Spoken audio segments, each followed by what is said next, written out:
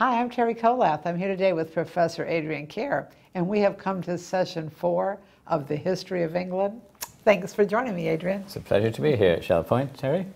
Session four. All right, it was it was um, about time to move into Elizabeth I. Yep, Henry VIII had died, and Mary took over for a short period. The Bloody Mary, as she's called in history, because she was a Catholic and took out her frustrations on Protestant leaders, but she died after a short period of time. And then amazingly, Elizabeth, um, Henry VIII's other daughter, um, had survived the Catholic zone and she became uh, the Queen of England. And she set about creating um, the rise of England as a world power. Mm. her father, Henry VIII, had created the world's strongest navy at that time and bankrupted the country in doing so. And she took advantage of that. So you see now England spreading its wings across the oceans. Um, Elizabeth I gave her name to the Elizabethan Age because there were all sorts of uh, expansion, influence, and of course then we also have um, Shakespeare. Um, and so the Elizabethan Age is a, is a, special time in English history. Um, and uh, the when she died, um, there was an issue of uh, she had no children, she had no husband, which was a bone of contention because the Catholic um, leaders in, in Europe, particularly Philip II, the strongest monarch in the whole of Europe, um, wanted to take over Protestant England and bring it back into the Catholic faith. Um, and uh, the Pope said, anybody who kills Elizabeth will go straight to heaven. Oh, goodness. And uh, he gave Remind the blessing. you of what? he gave the blessing to Philip II to conquer England and make it a Catholic country again. And that led to the Armada, the famous Armada, where um, her navy managed to defeat the Spanish Armada and kept it independent and Protestant.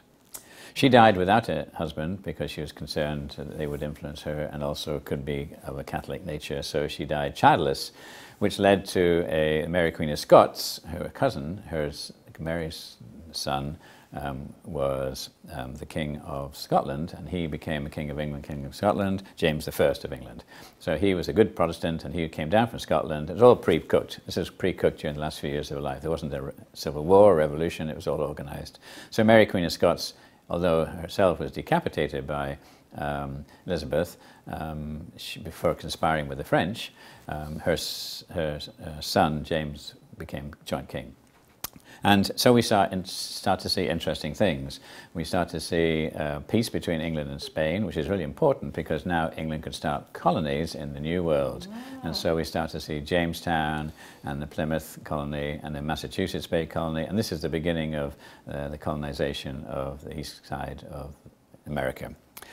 Unfortunately, the Stuarts are also well known for being um, changing their religion to suit themselves. And so we have four Stuart kings, and the, um, one, the second one um, didn't like the idea of being told what to do by the embryonic parliament.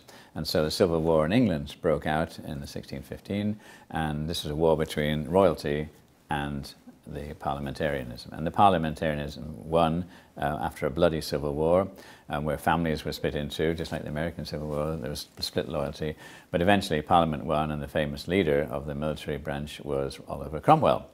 And he brought England back into a Puritan period, which is why people wear black and white clothes, which is why the people who ended up in the Plymouth colony and the people in Massachusetts Bay Colony um, wore black and white clothes, very modest, not flamboyant. That was the royalty. The, the King of England was a flamboyant with ruffs and silks and such, and this was a rebellion against royalty by having um, the Parliament run the country. Um, well, this only went so far because then uh, two more Stuarts came in because they fed up with having this very austere parliamentarian. When Oliver Cromwell died, his son was supposed to take over, but he had no position to be the king or leader of England, so he was pushed out, and uh, the Stuarts were brought back in again. And the next, uh, the, the, last of the Stuarts, um, actually turned out to be Catholic. And so he was encouraged to leave, um, and uh, they brought in a new Protestant king who was Prince William of Orange, um, who was married to the Protestant daughter of Charles II. And so it was that William and Mary set up camp in England, hence William and Mary College in America, and this is a period of um, uh, growth in uh, bringing England into a more modern um, world. We then spend a little bit of time on what was going on in the colonies because the colonies had got so extensive they were beginning to um, impinge on the French traders um, west in the western area. And so we'll talk about the French and Indian War. And then, of course, that led, as we know from the previous series, of uh, um, United States wanted to be independent from England, um, and so the um, War of Independence took place. And then we'll finish off by talking about what England did next. Um, and one of the amusing things was that England used to ship all its um, criminals to the colonies to put them into work as serfs. And not surprisingly, the new government in the United States said, we don't actually want any of your criminals coming in.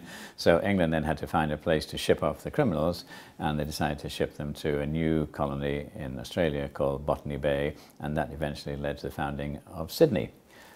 So we'll finish off by talking about what England did after the colonies were lost. Amazing. Well, that's session four, and um, we hope you'll be there with us.